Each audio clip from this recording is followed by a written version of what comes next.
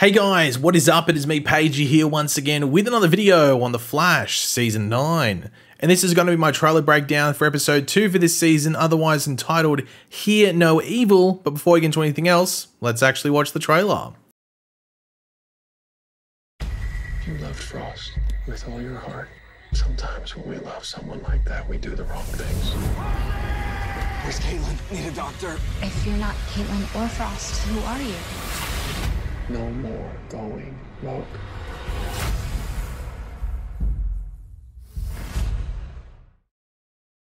So last episode was obviously the big season premiere for season 9, which, yeah, it seemed to be a bit of a mixed response. Like, I'm more in favor of it than some people I've seen where just completely not liking it at all. It seems like it was a bit of a mixed bag, but I think it, you know, by the end of the episode, with some of those cliffhangers, it set up a decent, uh, you know, platform for certain things going forward into the rest of the season, including this episode specifically and some of the mysteries and stories around it. And just a heads up, in about like four or five hours, probably from after this video is uploaded, we'll be live on Twitch, live chatting and breaking down episode one, having a big live discussion over on Twitch. So if you're going to be awake in four to five hours from when this video is up, feel free to head over. I'll tweet out when we're going live, but you can follow the Twitch in the uh, description down below. So hopefully I'll see some of you over there. But of course, before we get into the actual breakdown of the trailer and everything like that, we will quickly read out the synopsis or description for the episode, as it does give us actually a bit more context as to certain things that you know, lead off the end of last episode that are going to play in this one that the trailer doesn't address. So we'll read that out. But of course, throughout the video, be sure to let me know in the comment section down below your various thoughts, opinions, theories, everything like that. Always curious to read what you guys are thinking. And of course, if you're going to enjoy the video, want to show your support, everything like that, to drop a like on the video, it takes two seconds. Barry feels guilty for what happened to Caitlin, and Mark comes up with a plan which makes everyone skeptical. Meanwhile, Red Death looms in Central City and commands that failure is not an option. Joe asks Cecile to make a choice which leads Cecile to think about the greater good.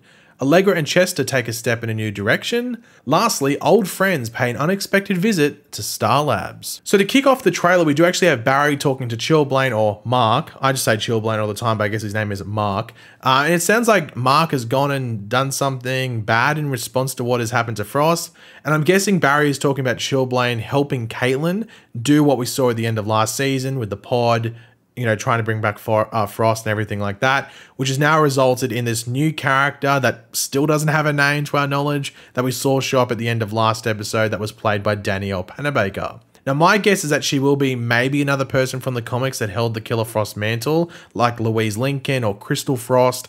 I, I think Crystal Frost, I think that was another name. So, something like that. So when Barry says he went rogue, I don't think he did anything evil or literally joined the rogues or anything like that. He just went and did something without letting one, uh, letting any, anyone else know, and now it's resulted in what's happening now with whatever this person is that Danielle Panabaker is playing that Barry's now very concerned about. And as we know from the synopsis, Barry feels pretty guilty for what happened to her. So he's going to learn all about the pod, everything like that, that we saw uh, Chillblaine and uh, Caitlin do at the end of last season that was behind the backs of everyone else. Now, the next part of the trailer was quite interesting because it confirms like some like scene speculation, if you want to call it, from one of the trailers.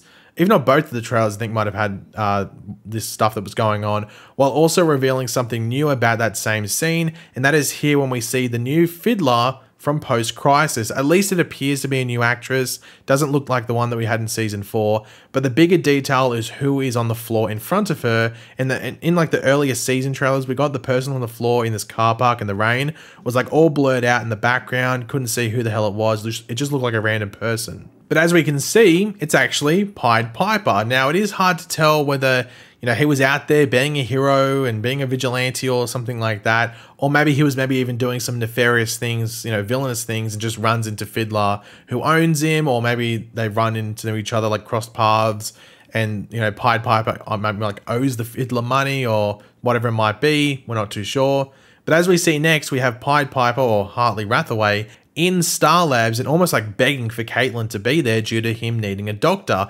And I hadn't really thought of the fact that Caitlin was the medical person. I know she was Dr. Snow, but you just forget that like she's the medical person and that without her, if Barry or anyone else is injured, he is sort of screwed, or they're sort of screwed, and will need some outside help, which isn't good when you're doing crime fight. And they're going to need a reason as to why you got a massive cut across your head or a bullet wound or whatever it might be. So I'm sure that conversation will come up in some way. The fact that, oh crap, we don't have Caitlin anymore. We need someone who actually knows what's going on in regards to like the medicine side of things and, you know, hospital side of things. So maybe this new person that Danielle Panabaker is playing has that side of Caitlin. We don't know, but they're going to have to try and figure that out. But because Hartley is back in this episode, or Pied Piper is back in this episode and is in Star Labs, I do wonder if this is the episode where those other B team rogues, as, as many have been calling them, show up. That being Pied Piper, Goldface, uh, The Hotness, and Chillblaine, of course. Or we could get one other familiar face or two showing up alongside Pied Piper that aren't in that B team rogues group. Now, whoever they might be is up for question. But even then, maybe like they count who Danielle Panabaker is playing as that familiar face or an old friend. I'm not too sure. That's a wait and see. But it seems like one of the underlying mysteries that's going to be going on throughout this episode is just what's going on with. Well, I was going, I was going to say Caitlin, but I guess the correct way to put it would just be whoever Danielle Panabaker is playing. But we do see her back in that pod, like we see her hand go for and we see a lot of people looking around it from the end of last season. So maybe this is them trying to reverse the process of what happened to her, or using more of the tech within Star Labs to maybe put it together better. Maybe they thought they stuffed it up last time and that they can actually put it together properly and I guess finish the process. Or maybe she needs to go into this pod to survive or whatever it might be. It will be something worth finding out. And there's even a bit in the trailer where she's like feeling the rain outside. So I don't know exactly what's happening here. Like, I'm very, very surprised that we potentially could go and not have Caitlin this season. But Caitlin was on the poster they released for this season, and that could have just been putting Danielle Panabaker on the poster because she's a season regular, but also not showing who she truly is. So maybe this is the character we're going to get we're going to get with her throughout the rest of the season, but it's also like a question mark. I'm not 100% sure and there hasn't been any set photos out there to say whether she goes back to being Caitlin or if this is who she stays. Like this is the first time we're seeing this character with the somewhat dodgy blue highlight extensions or whatever they are. But that is it from stuff from this uh, the actual trailer. The trailer didn't show too much, but it gives you a decent idea as to what's coming our way in next week's episode. But one thing they don't show, which might have just been to you know contain spoilers in case someone saw maybe this trailer but didn't see the end of episode one yet or something. But there's no Red Death in this trailer at all, but we can expect them to show up in some way. And that's mainly because the only thing I'm going to include from the synopsis to talk about now afterwards is the fact that it says, meanwhile, Red Death looms in Central City and command and command sorry that failure is not an option. So I'm assuming that's talking to the rogues because we see that Captain Boomerang is working for Red Death and we can assume that the Fiddler is working there as well. Now I'm very curious as to whether the Fiddler was maybe you know hunting Pied Piper in order to bring him in and be a part of the Red Death rogues or Red Death's rogues, if that if you want to put it that way. And maybe Hartley doesn't want to do it. We don't know whether he's gone back into a life of crime or he's just sitting in the middle, or we, are not too sure exactly what he's been doing since the last time we saw him, which I think was in. We didn't see him last season. Was it season seven or season six? I'm not too sure, but uh, we're not we're not too sure exactly what he's been doing since that point. But it wouldn't surprise me too much if Red Death is just trying to lure in as many of the villains around Central City in order to create this ultimate force that does go up against the Flash. Now, we do know that Red Death is apparently, well, it seems based off one of the trailers that Red Death is trying to build a time machine. Obviously, we had uh, Red Death getting the Roma accelerator thing uh, that Captain Boomerang got last episode, which obviously would help with some time stuff. So I'm, I'm curious to see what is being pieced together and what's being hunted in this particular episode. Um, that's obviously a wait and see. But the last thing to go over in this video is just a couple of or a few promo images. I think there's three. Was there four? I think there was only. I've only got three down here. I don't think. I think there was only three. I think it's for episode three where there's four promo images, but they're pretty basic. So the first one here is just Barry with Chester and Iris, and they're in the speed lab. But this is where the pod that um I guess whoever Danielle Panabaker is playing is going to be put in. So they're looking over this and doing some tests or you know, everything like that, just your general science mumbo jumbo. So they're looking over that. I think I'm curious to see what Barry's like in this episode because the synopsis does say that he's like he feels guilty. So, you know, if something bad happens, like he's not going to feel that good, is he? But the next one is a really cool shot of the Flash in his suit here. Now, I think this is going to be him going after the fiddler. Now, I thought this episode was going to be about Murmur because when you think like hear no evil, you know, Murmur doesn't speak, so you're not going to hear no, you know, you know, hear no evil because Murmurs doesn't speak. But obviously, it might be about trying not to hear the fiddler. But then again, both of them could be in this episode.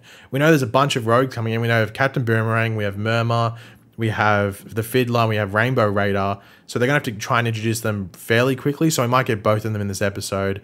Uh, who knows? But yeah, as we're you know used to at this point, this suit is looking really good. In the final season, it's going to look much better um, because of the way they're filming it. So yeah, no complaints here.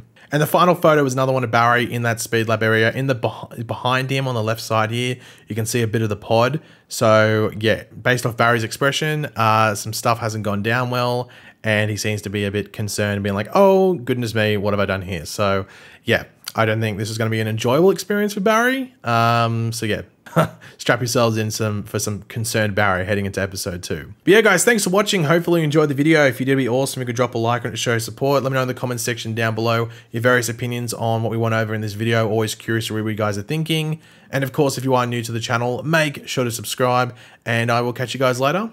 Goodbye.